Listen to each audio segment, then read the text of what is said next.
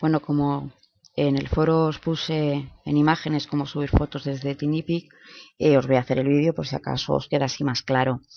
Eh, es una página gratuita, eh, no tienes por ahora, no tienes ningún límite de capacidad. Yo tengo ahora mismo 6.609 fotos porque ya no lo utilizo, pero he llegado a tener más de 12.000.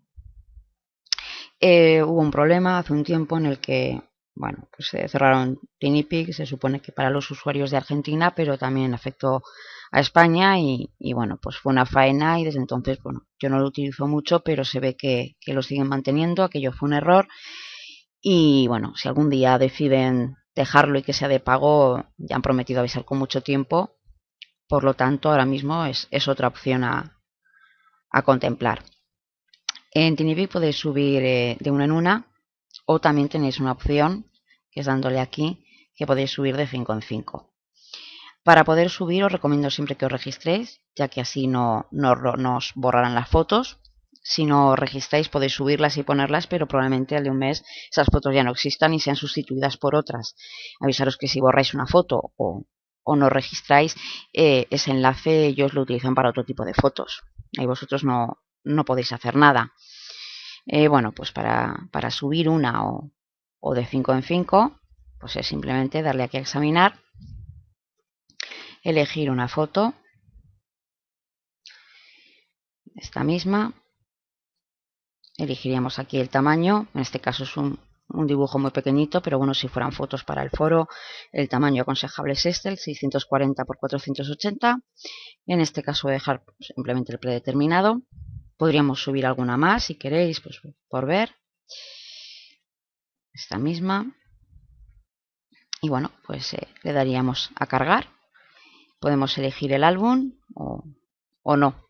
Eso ya a gusto. Es muy aconsejable para tenerlas bien ordenaditas crear álbumes y ir metiéndolas pero bueno como esto es un ejemplo simplemente le damos a cargar y ya como veis eh, se suben las fotos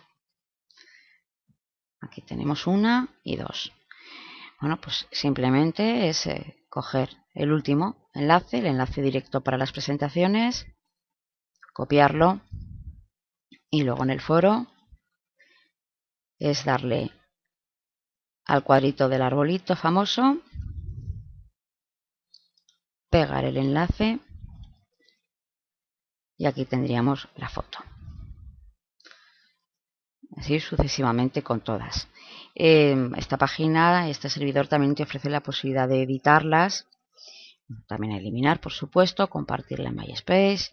Bueno, tiene, tiene bastantes cosas para editar, tiene un editor, bueno, majillo. No está nada mal, eh, es a través de, internet.